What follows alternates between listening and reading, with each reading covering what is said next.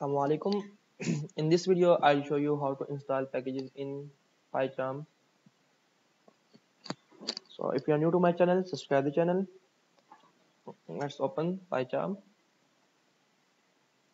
For installation of package, for the steps. Click on File. Click on Settings. Click on Project Interpreter and click on this plus icon now I'll show you to install matplotlib.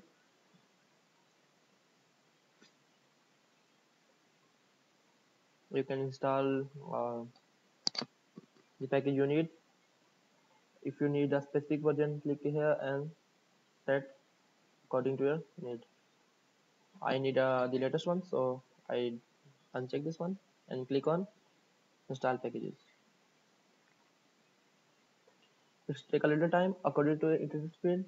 Make sure your internet is connected.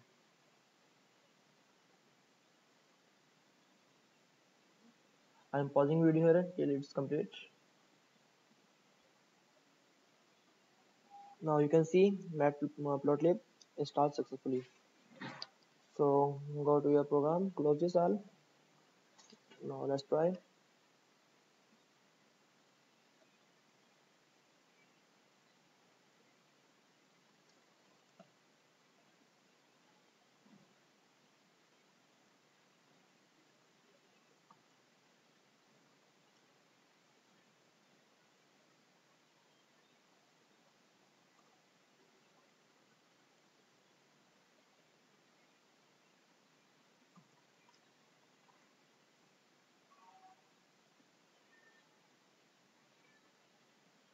It's loading wait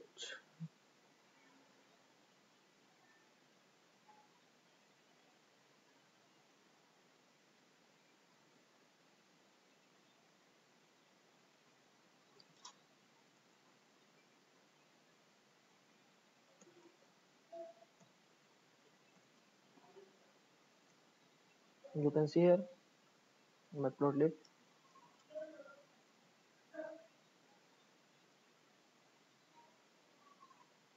now it's working fine.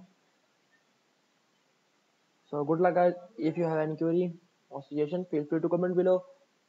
And if you have uh, if you need help regarding python installation packages in pycharm or anaconda you can watch my videos in my playlist of um, pycharm zone and anaconda zone and python zone.